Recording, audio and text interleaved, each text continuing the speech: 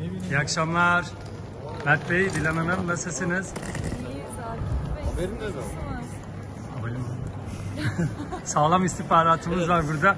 Nasıl geçti oyun soralım. Çok güzel geçti.